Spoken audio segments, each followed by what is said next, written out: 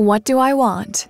This is the first question you probably ask yourself when you're planning for retirement. When you are free of the 9 to 5, it's time to choose what you want to do with your precious time. I want that vacation home I worked so hard for. I want more time to spend with my grandkids. I always wanted to volunteer. You may even want to pursue a lifelong passion. Once you have a clear picture of where you'd like to head, a financial plan may be the ticket to help you get there.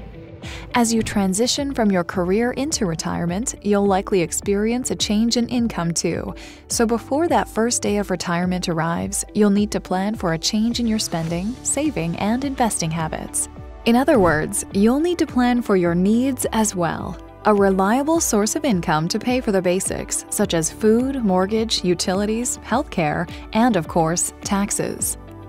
You may also be thinking about what you wish for in the future, maybe even after you're gone. I want my grandkids to go to college. I wish my family could be a little more secure with their future. I'd like to give to a charity that really helps people.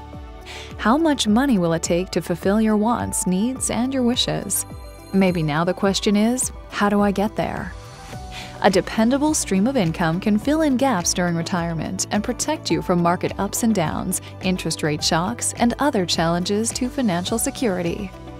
Talk to your financial professional or visit jackson.com to discover the different choices available to you when planning for your wishes, wants, and needs in retirement.